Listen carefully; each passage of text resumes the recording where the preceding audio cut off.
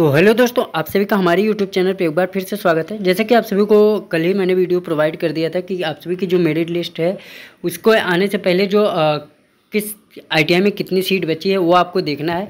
तो आपको क्या करना है इसके बारे में बताएँगे और कैसे फॉर्म में करेक्शन करना है। ऑलरेडी मैंने कल वीडियो बना दी है उस पर आप सेम हो बहु वैसे ही फॉर्म में करेक्शन करेंगे और उस वीडियो का लिंक मैं इसी की वीडियो के डिस्क्रिप्शन बॉक्स में दे दूँगा। नहीं तो आप हमसे व्हाट्सएप से मांग सकते हैं, वीडियो के डिस्क्रिप्शन बॉक्स में व्हाट्सएप का लिंक होगा। तो आइए सबसे पहले आना है आपको यहाँ पे और ये सर्च करना है S C B T U P dot in जैसे ही आप इस चीज़ को सर्च करेंगे, पहला पेज आएगा और पेज पे, मेन पेज पे यहाँ पर आपको पॉपअप खुल के आ गया होगा। यहाँ पे आप देख पा रहे हैं यहाँ पे देख पा रहे हैं मतलब फॉर्म को करेक्शन करने के लिए सबमिशन करने के लिए और फॉर्म को प्रिंट करने के लिए। यहाँ पे आप देख पाएँगे पहले वाले पे ही, देखना है किस कॉलेज में कितनी सीट बची है। चलिए, मैंने पहले पे क्लिक कर दिया। जैसे यहाँ पे देख पा रहे हैं, यहाँ पे आपको ऊपर देख द्वितीय चरण के लिए अगर आपको सरकारी में देखना है तो ऊपर वाले पे क्लिक करेंगे, अगर प्राइवेट में देखना है तो नीचे वाले पे क्लिक करेंगे। अगर लॉगिन करना है तो आप यहाँ नीचे से जो है लॉगिन कर सकते हैं, जिनका दोनों में है। तो चलिए सबसे पहले मैं जो है देख लेता हूँ कि हमारे यहाँ सरकारी में कितनी सीटें बची है। आप सभी को दिखाता हूँ।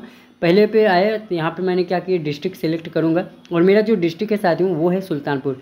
तो मैंने यहाँ पे डिस्ट्रिक्ट सेलेक्ट कर लिया। उसके बाद मेरी जो आईटीआई है सुल्तानपुर सेलेक्ट करने के बाद यहाँ पर मेरी गवर्नमेंट आई है, सुल्तानपुर है।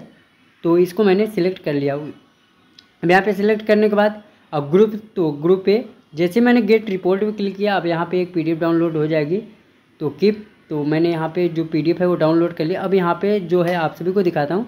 करना क्या है, आप सभी ये चीज़ देख लीजिए। क्योंकि अगर इस बार फॉर्म में गलती करेंगे तो आप जो है एडमिशन नहीं ले पाएँगे। देखिए, अब क्या है, आपको सबसे पहले इस चीज़ को डाउनलोड कर लेना है, इस प्रिंट को डाउनलोड कर लेना है। और प्रिंट को डाउनलोड करने के बाद आपको देखना है कि किसमें कितनी सीट बची है। जैसे यहाँ पे देख पा रहे हैं टर्नर में हमारे यहाँ जो है अभी सत्ताईस सीट बची हुई है।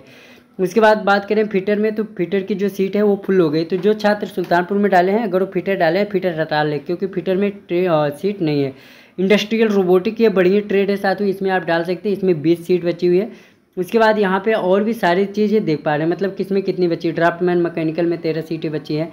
तो जिसमें ज़्यादा सीटें बची हैं, उसी को आपको क्या करना है, फॉर्म को करेक्शन करना है। कैसे फॉर्म को करेक्शन करना है, मैंने कल ही ऑलरेडी वीडियो बनाया है।